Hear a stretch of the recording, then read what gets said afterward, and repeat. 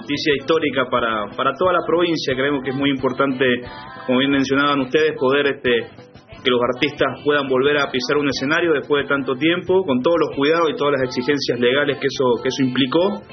Y también para, para los espectadores que en esta iniciativa tan importante de, Canal 7, en, en conjunto con, el, con la Fundación América y bueno, y Maipú Municipio también poniendo un poco cada uno, creemos que también es la nueva la nueva manera de, empezar a, a transitar esta nueva normalidad, así que muy contento. Un gran combo, ¿no? Solidaridad, eh, músicos de nuevo sobre el escenario y la gente pudiendo disfrutar de ellos porque se los extraña.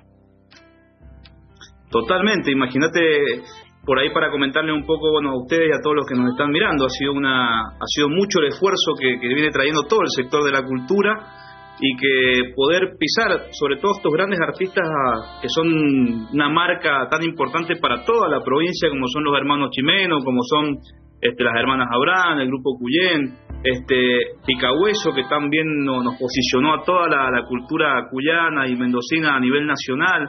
La verdad que estamos muy contentos y sobre todo también estas, eh, llevando adelante este desafío histórico para, en este caso, para Maipú municipio, la verdad que rápidamente apenas este, se, comenzó con este aislamiento obligatorio, nuestro intendente Matías Estebanato nos pidió reacomodar y actualizar la forma de, permitir que todos los mendocinos y las mendocinas pudieran este, tener acceso a la cultura. Así que en ese esquema se armó lo que fue el Conectate al Imperial, que es una, una plataforma, una especie de escenario virtual que se hizo, donde tenemos una programación semanal de jueves a domingo con distintos artistas locales, distintos artistas de la provincia.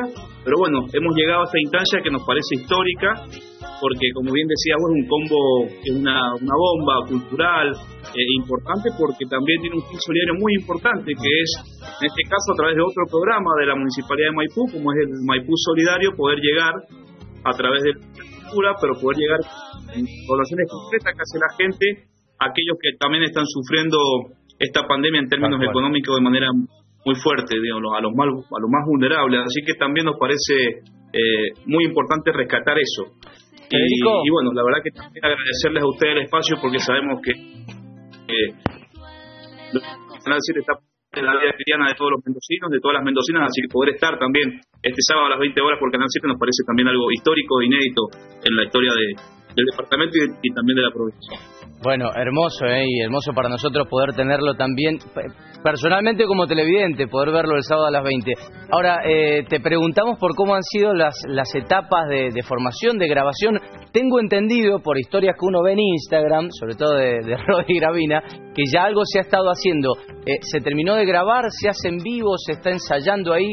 ¿Qué está pasando hoy por hoy adentro del Imperial? Es, un producto que ya está, ya está grabado, que ha sido grabado este, con todos los protocolos que nos hicieron llegar el fin de semana anterior desde el Ministerio de Cultura y Turismo de la provincia y lógicamente con todas las exigencias que de Maipú municipio ya se venían cumpliendo. Obviamente. Este, parte de eso, parte de eso este, se va a mostrar porque también nos Ay. No te puedo creer. Siamo fuori.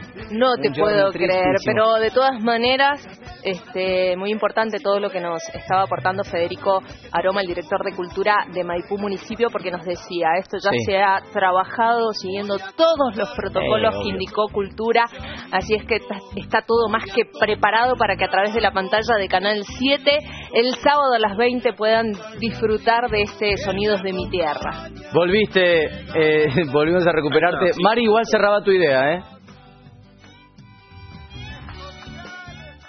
Ay, estamos...